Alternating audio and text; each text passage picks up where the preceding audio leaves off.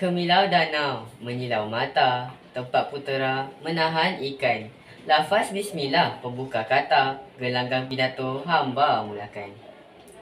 Bismillahirrahmanirrahim. Assalamualaikum warahmatullahi wabarakatuh dan salam sejahtera. Sekalung penghargaan buat penerajuk acara, barisan hakim yang penuh berkarisma, guru-guru serta rakan-rakan saya yang cekal akan mindanya dan penerus wadah tonggak negara. Hadirin yang saya hormati sekalian, berdirinya saya di atas pentas yang indah pada pagi yang nirmala ini untuk menyampaikan sebuah pidato yang bertajuk Bahasa Melayu, Citra Bangsa Berdaulat. Bahasa Melayu merupakan salah satu bahasa yang mempunyai pengertian yang sangat luas. Bahasa Melayu juga tidak hanya merujuk sebagai sistem linguistik tetapi digunakan pakai sebagai alat perhubungan sosial dalam masyarakat. Situasi ini dapat dihuraikan oleh bidalan bersatu teguh bercerai roboh. Daripada bahasa itulah tergambarnya etos atau semangat kita sebagai satu bangsa yang hidup dalam satu lingkungan tanah air yang bebas daripada taklukan penjajah.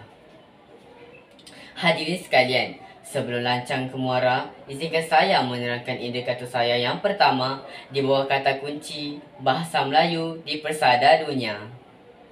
Tahukah anda Bahasa Melayu dituturkan dan dipraktikan di serata dunia? Menurut laman sesawang berita harian, jumlah penutur bahasa Melayu dari seluruh pelosok dunia sudah mencecah 300 juta orang. Ini secara tidak langsung menjadikan bahasa Melayu antara tujuh bahasa terbesar di dunia selain daripada bahasa Rusia, Arab, Spanyol, Hindi, Inggeris dan Mandarin. Selain itu, terdapat juga diaspora yang membentuk komuniti Melayu seperti di Afrika Selatan, Sri Lanka, Amerika, Australia, United Kingdom dan Arab Saudi. Menjelang tahun 2020, bahasa Melayu masih menduduki tangga yang utama dan dijangkakan menduduki tangga atas dalam susunan bahasa yang mempunyai ramai penutur. Pada pendapat saya, senario ini memaparkan kewibawaan dan kemampuan bahasa tersebut mengatasi bahasa lain yang wujud di dunia ini. Sejarah kehebatan ini sepatutnya dijadikan sebagai pembakar semangat dalam usaha memperkasa dan mendaulatkan bahasa Melayu pada zaman sekarang. Dalam konteks ini, tidak mustahil untuk menjadikan bahasa Melayu sebagai bahasa antarabangsa kerana keupayaan bahasa Melayu telah terselah dalam aspek-aspek berikut. Hadirin dan hadirat yang dihormati, seterusnya saya akan menerangkan indikator saya yang kedua iaitu bangsa Malaysia memartabatkan bahasa Melayu. Pada 10 November 2021, Sinar Harian telah menyiarkan akhbar bahawa Malaysia telah mencatat sejarah apabila Menteri Alam Sekitar dan Air KASA Datuk Seri Tuan Ibrahim Tuan Man berucap menggunakan bahasa Melayu pada pentas antarabangsa di Glasgow, Scotland iaitu ketika persidangan ke-26. Rangka Kerja Perubahan Iklim Pertubuhan Bangsa-Bangsa Bersatu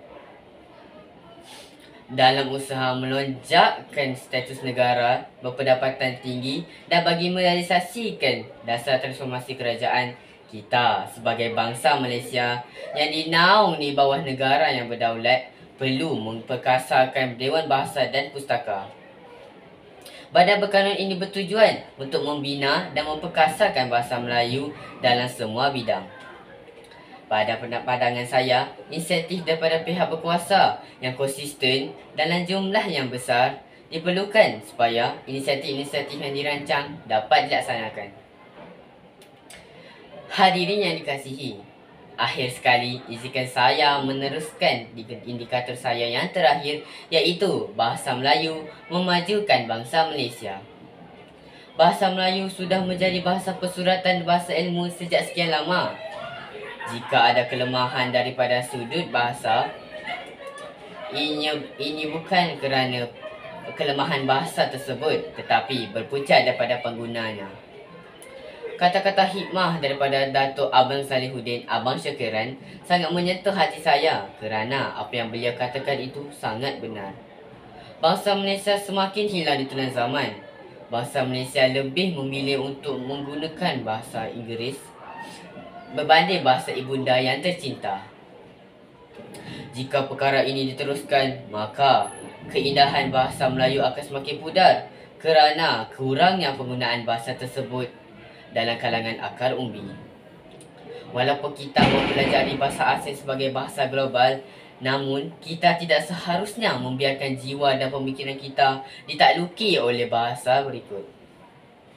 Kejayaan pembentukan negara bangsa seperti Jepun, Korea, negara bangsa di benua Eropah dan Amerika Syarikat telah membuktikan yang mereka berupaya untuk memodenkan sekaligus mendaulatkan bahasa kebangsaan mereka. Hadirin, pada penghujung bicara, jelas tertera tak kala kita jadikan bahasa Melayu sebagai budaya dan pegangan, maka impaknya bahasa yang dulu tertiara di mama kini kembali tegak bermaruah. Marilah kita bersama-sama mengekalkan martabat bahasa ibunda kita di mana saja kita berada. Persis kata Mutiara, biar mati anak, jangan mati adat. Saya menutup pidato saya dengan serangkap pantun. Madah diungkap, santun bitara, pantun dilantun, mengusik hati. Salah dan silap, tutur bicara, pohon diampun seikhlas hati. Sekian, wabillahi taufiq wal hidayah. Wassalamualaikum warahmatullahi taala wabarakatuh.